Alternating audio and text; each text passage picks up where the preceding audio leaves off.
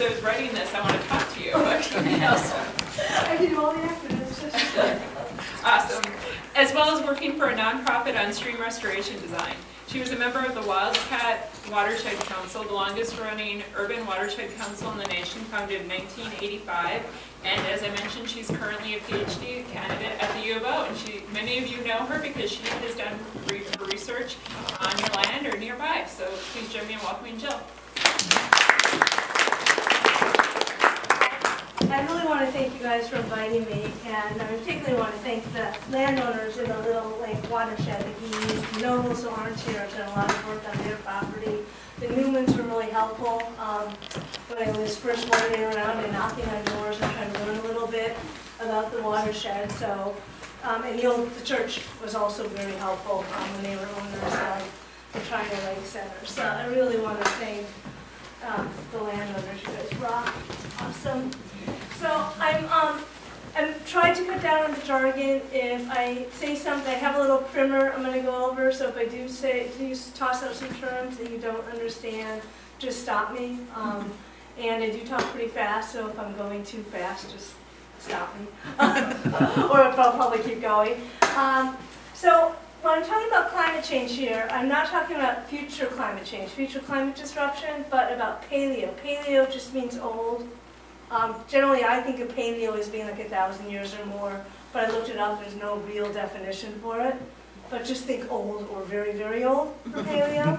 Um, and so I'm going to talk about work I've been doing out in the Little Lake Watershed, which is this fantastic archive. Um, many of you know previous work that was done out here in the 90s, and I'm going to talk about what I'm doing and why it's different.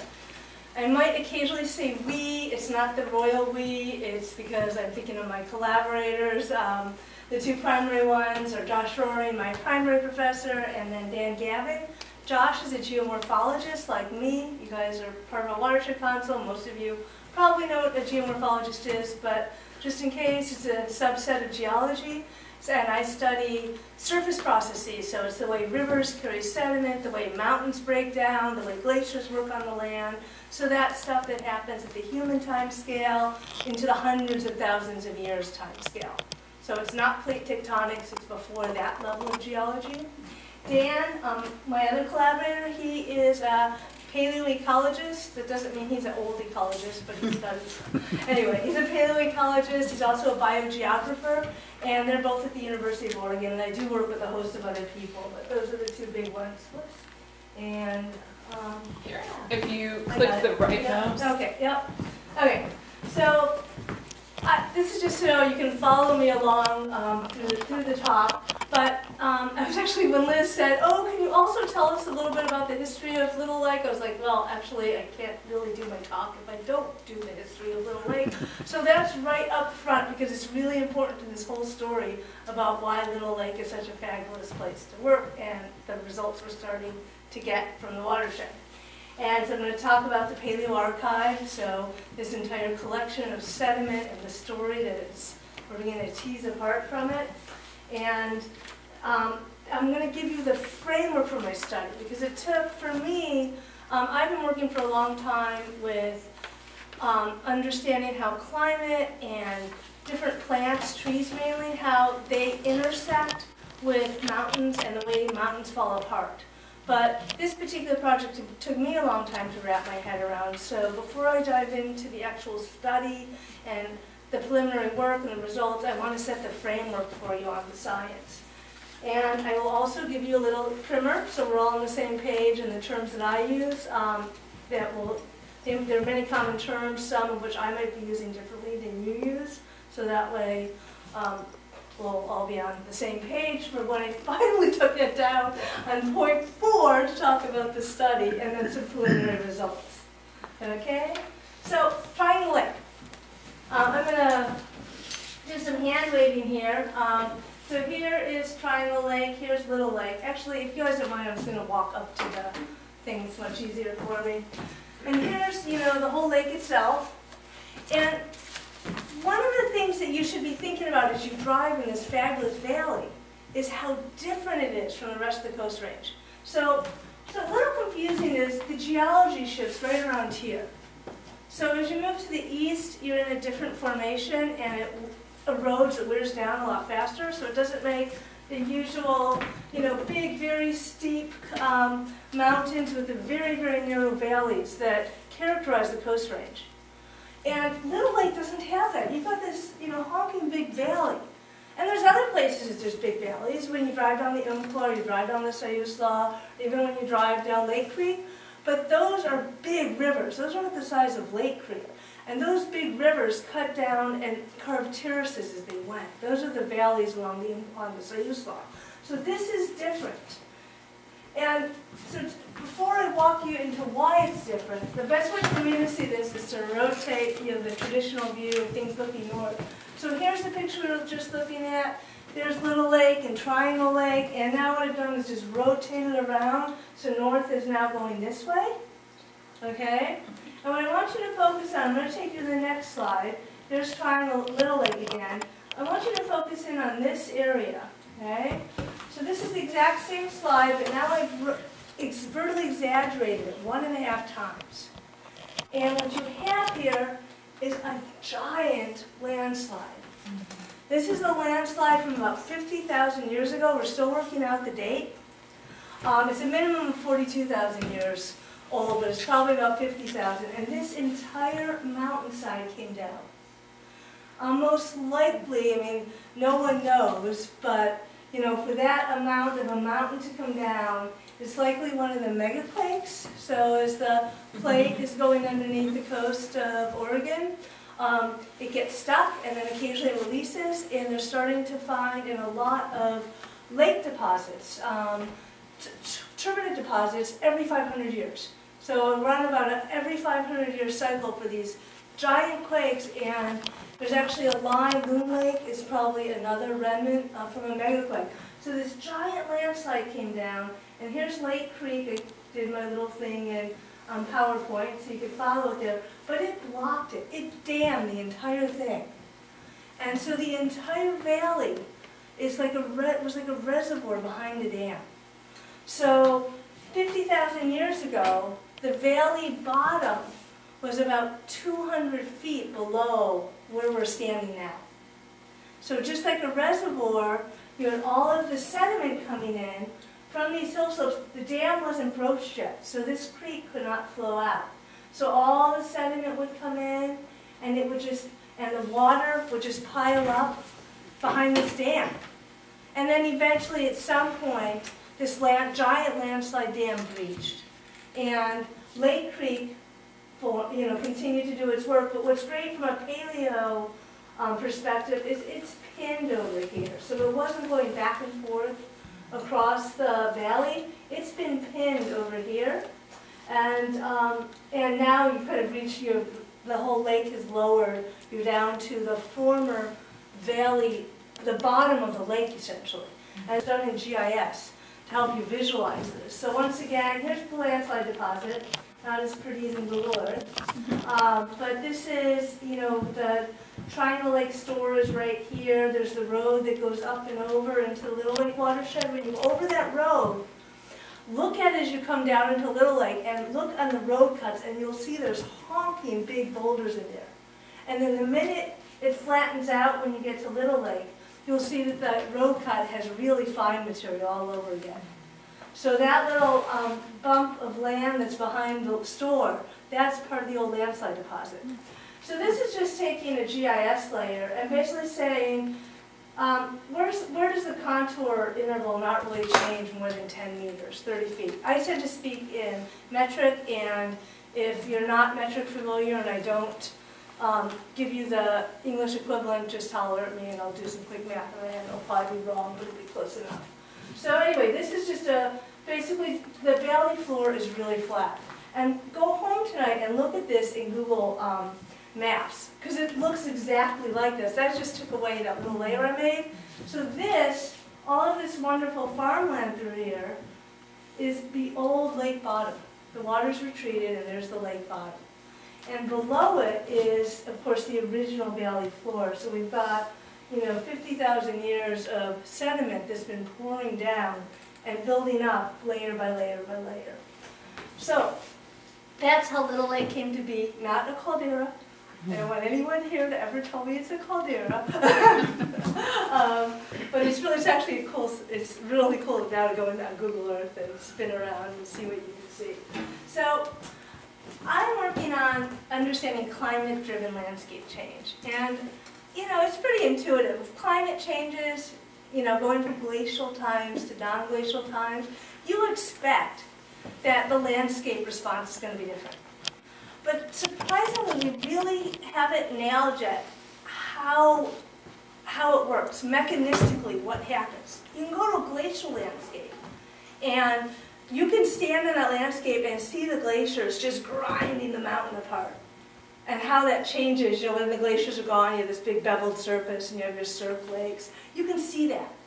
But in soil mantle landscapes, um, we actually haven't yet been able to tease apart the mechanics of how it happens. Does it, when it rains more, do the raindrops hit the dirt and then that leads to overland flow and that's why you might break down the mountain faster? Is it because um, the vegetation changes and the way the vegetation works on the land uh, might have an impact? So this study is all about getting to the mechanics of how it works.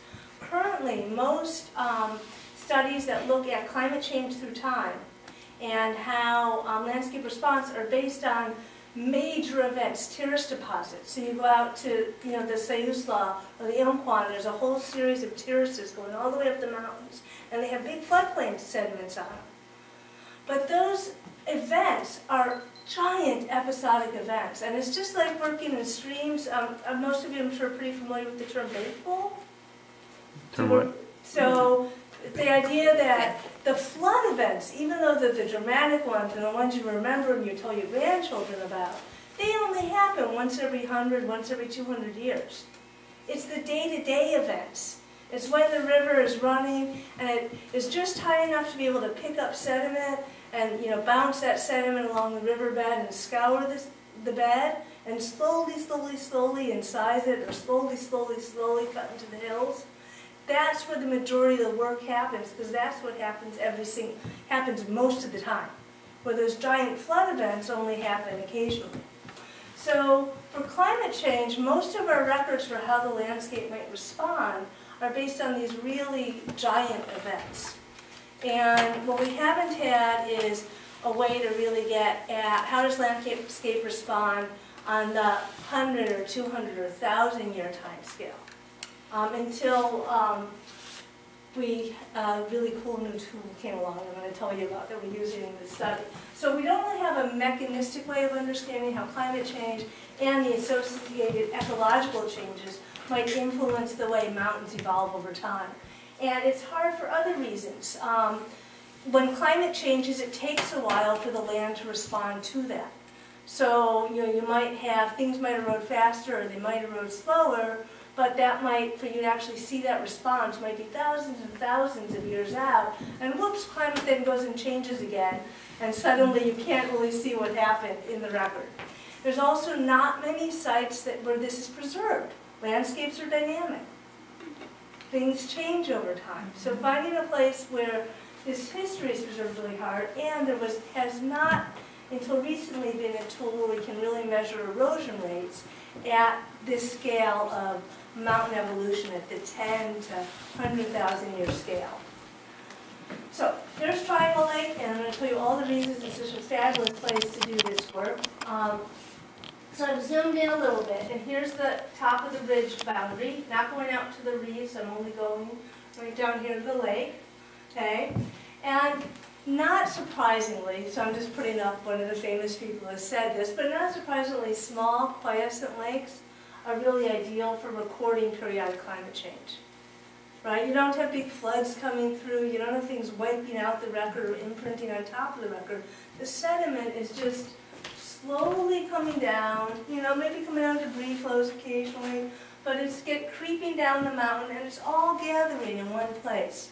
Let year after year after year after year.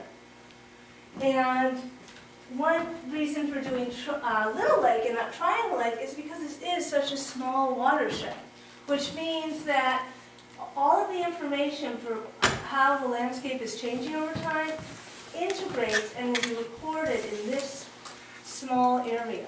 So the minute you go out to something like Triangle Lake, where you have one watershed that dumps something over here, and another watershed that dumps something over here, it gets much harder to really look at an integrated record. So that's why um, Little Lake is so fabulous.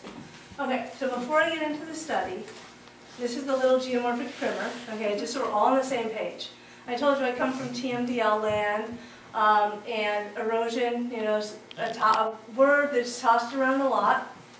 And um, many times when I think about erosion, uh, or until I started really um, going into this style of geomorphology, I think about you know sediment that's coming off the fields, you know, or the big storm event happens in the city, you know, you get the impervious surfaces and water just picks up everything in its path, and that's called erosion.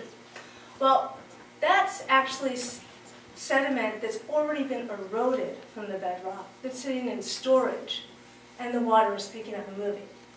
In this case, I'm talking about the wearing away of rock, so actually breaking rock apart. And one thing you have to understand about geomorphologists is we don't think of the rock wearing down this way, especially in the coast where there's uplift. So you've got the plate coming underneath and the whole coast range is being pushed up at a steady rate. And so we think of the rock as coming up to the surface. So it comes up to the surface and agents of change, be it water or wind or plants, they get, it gets into a, into the very top part where things can start to attack it. Water can begin to um, leach out chemicals and make the rock mechanically weak. Trees can get in there and they get into the bedrock and then they fall over and they bring all that bedrock up with it. And now you have material that can be transported down slope.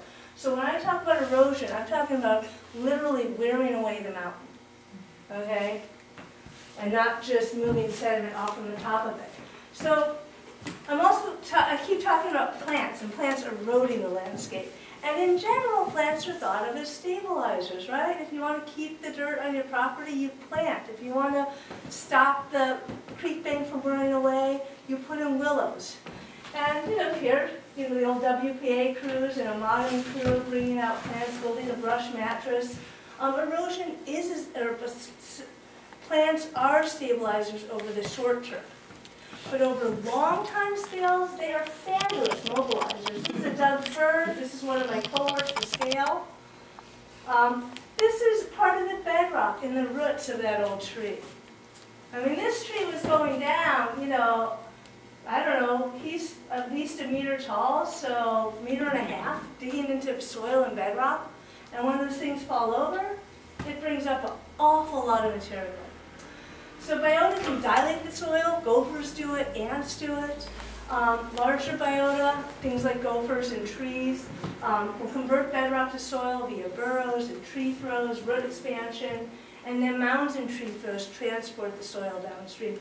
So you can picture that this whole bedrock to soil conversion, which is the way mountains break down in soil mantle landscapes, that the mixing and transport, so the way we erode the land, the rate that it's eroded, should vary with different ecosystems.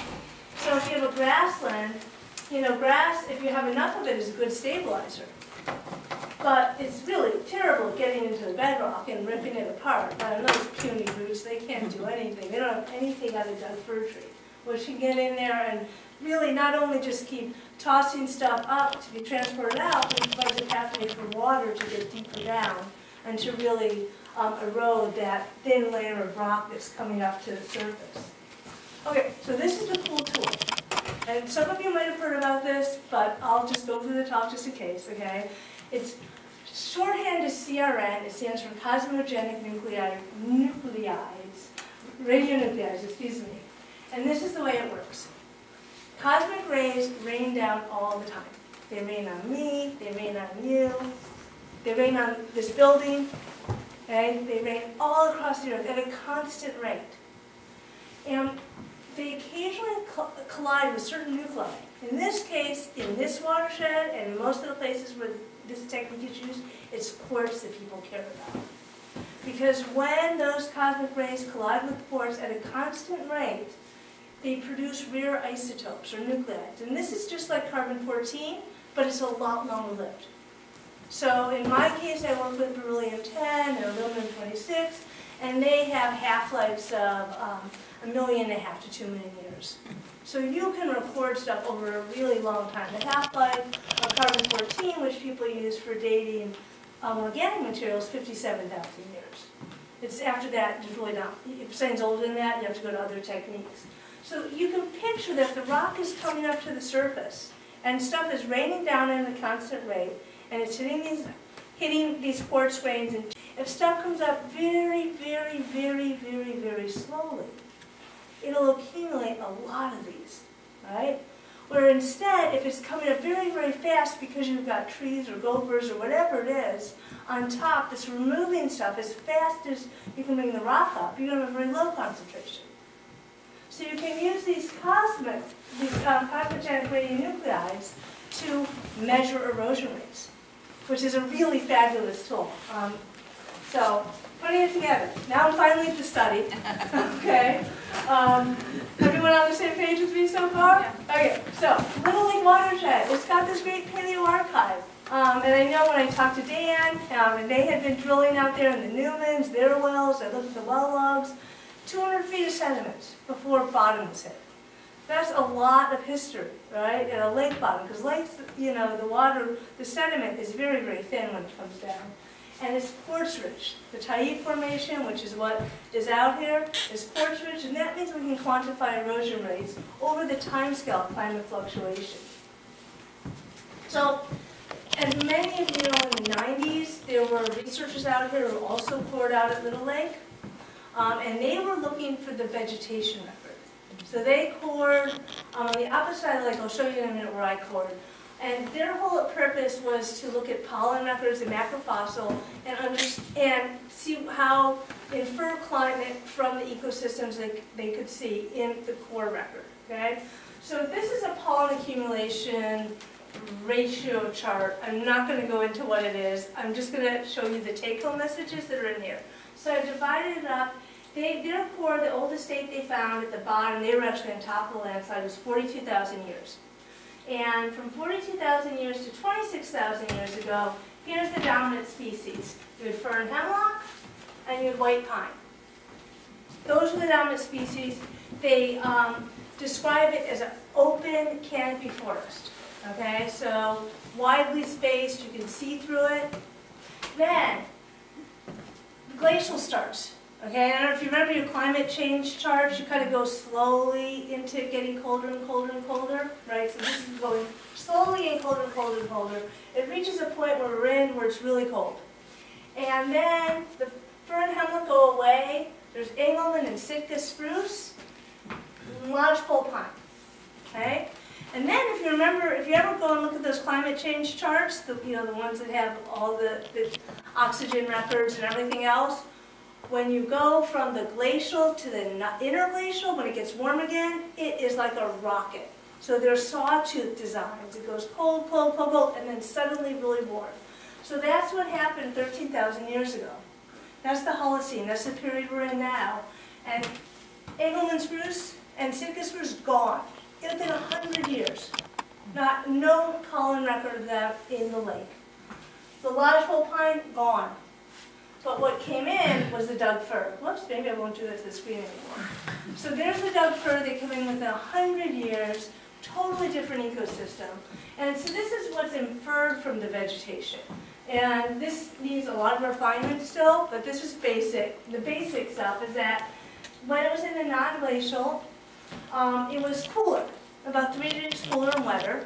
And then during the glacial, it was never glaciated here. And this is a really important point okay? The Coast Range is um, the center of geomorphology world because it's where um, many geomorphology laws have been developed because the idea is that this landscape was never glaciated and the landscape has had time to equilibrate. And so you can come up with uh, physical laws that describe the processes and describe the form, okay? Um, I'm actually going to argue that that's not true, but we'll get to that in a second.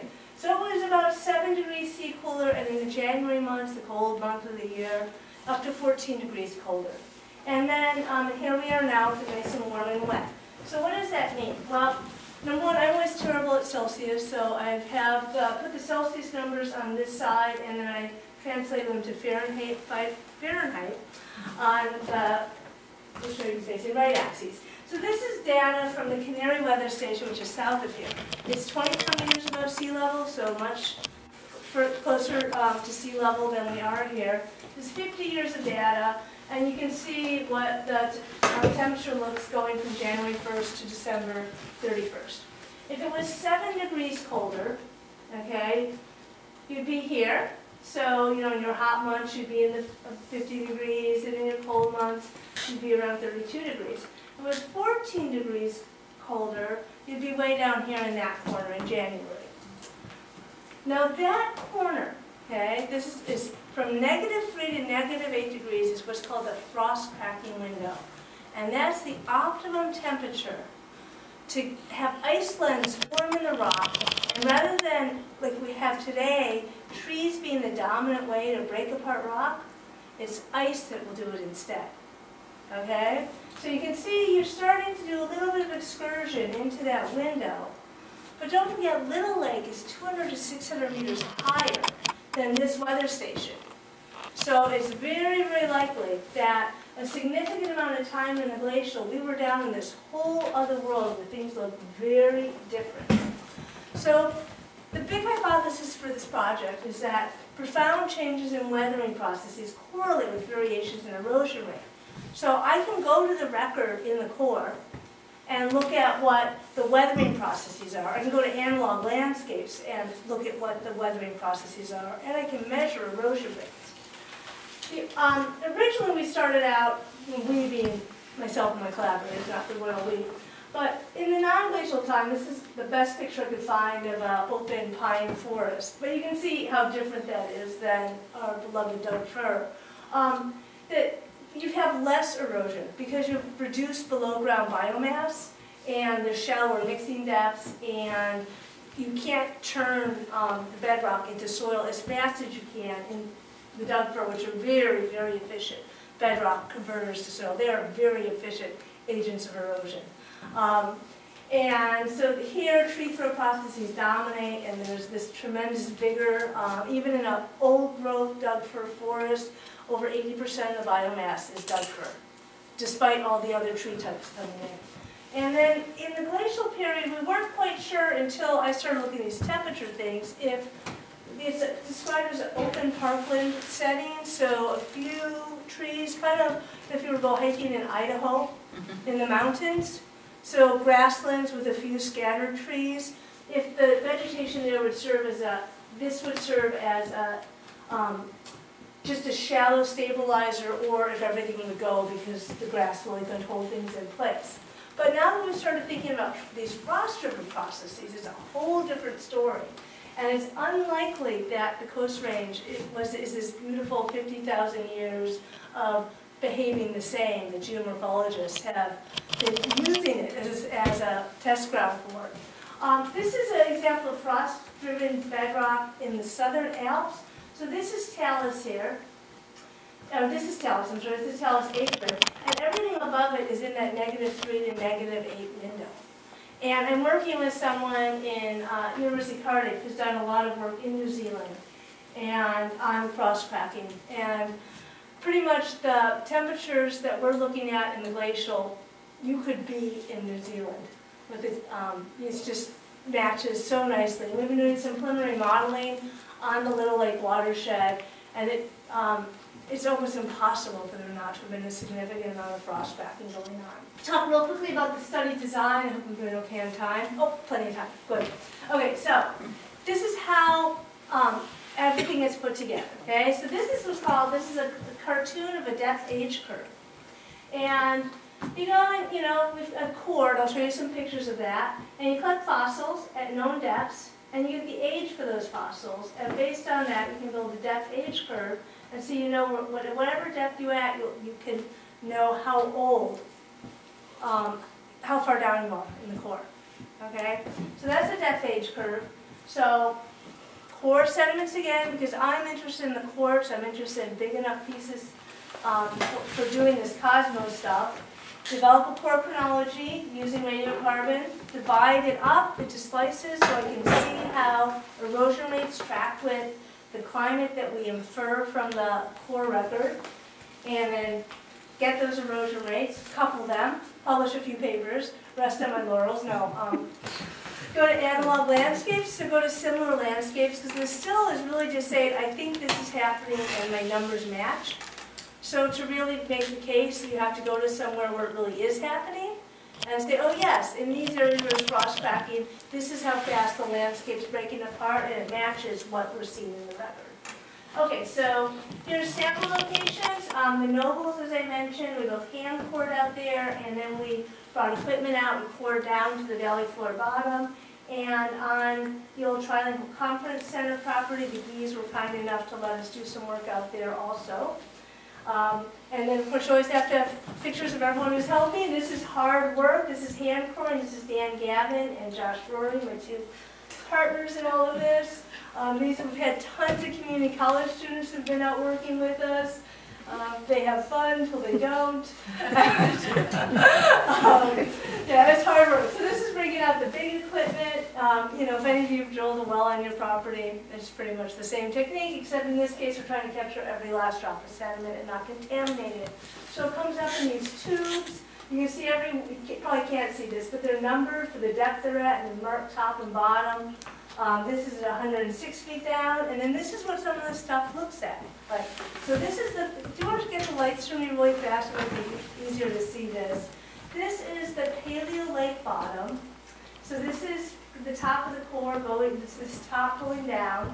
And you can see here, these are called varve sediments. So this is a year's worth of um, deposition coming down. Here's the organics on the top and the mineral component. This is probably the tail end of the debris flow coming down. And then I love this one. I was so excited. This is the forest floor, the original forest floor. So this is about 205 feet. The bottom of the floor was 207 feet. We went into bedrock. But this is trees. Looks like it, it could have come from today. This is about 50,000 years old. And it's from the original valley floor that's 200 feet below our feet now. And then right below it is the old soil. This is the old forest soil. So this has horizons in it, and this is about 50,000 years old. I just think that's really cool. so, preliminary results, and then I'm done. So, again, this is that same age depth model like you saw before, except now it's got data on it. So these are, these squares here are everything that we've had dated so far. And time is along the bottom axis. Turns out we're still doing some of the stuff for the Holocene, so um, we're correlating a bunch of cores, so this is only showing from 20,000 years. And from how deep we've gone, we know we're below 45,000. Um, but you can see this is the non-glacial interval. So this is 45,000 to 26,000 years. And this, you can think of this as the rate of sediment coming down, right? And you can see that in the glacial, it is four times faster, the slope of this line. This is eight millimeters of a year, a year of sediment accumulating. And that's a bare minimum because don't forget, as the lake got bigger and bigger, it, the aerial extent got bigger and bigger. So stuff was absolutely cranking during the glacial period. These mountains were just falling apart, which has implications for the way rivers respond. There's a whole bunch of feedback loop attached to that. But this was not what we expected when I started on this project two years ago. These are all of the um, Cosmos samples that we've sent out, so I'm waiting for those to be processed.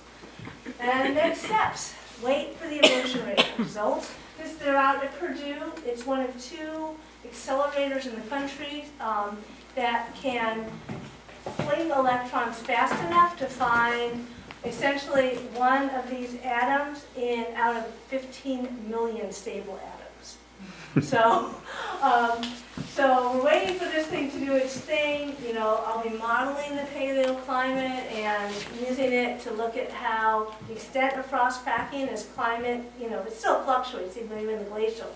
How that would have, it's basically how it produces soil.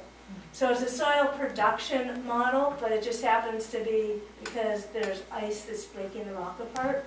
Um, we'll in the middle of working with people to reconstruct what the bottom of the lake looked like, what the shape of it looked like.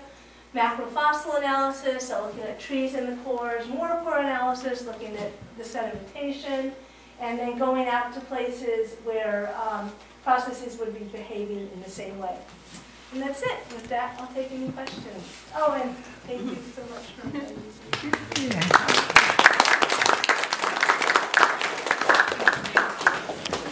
So, so when you found that chunk of wood, is there anything you can do to test to see how old that is, or or is it so old you can't do carbon dating? Well, we, we, it's probably just past carbon age, but that's, that's on the list to be sent in. So we're sending that in, we've sent in, we've been in this iterative, I have three different cores from the big equipment, and they're not, they weren't well lined up. And so we've been in this iterative world of testing one, getting the date, and then saying, now we'll go to this one and get the date. So that one, my guess is, is older than, is it probably a dead age or right around it. But we'll be testing above it too. And that, And can you um, tell what kind of wood it is? well, I I can't, but the paleontologist can. Somebody can, Oh, okay. yeah, and, and that will be out there. And because this line is, even with just a few data points on it, it's a really good fit. It's, you know, like 0.0007 percent chance that it's not representing what's there. Um, Even if we don't know if it's, if it's dead age, um, we should be very, very, very confident about the actual age. So, I read that these mountains were created by the Missoula flood. Not these. Not these. Um, the, the Willamette Valley had parts of the Missoula flood come through it. But these mountains have been, um, they were originally, um, off the coast on the continental shelf. When the Cascades were being formed, you had huge amounts of sediment coming off the edge of the shelf. And they were just pouring down, making, there were huge deltas and then pouring down these submarine canyons. And so that's what the, all the mountains around here are, and then they've ridden up, um, they're resting on the Siletz plate, which is a little microplate that's being shoved underneath the coast.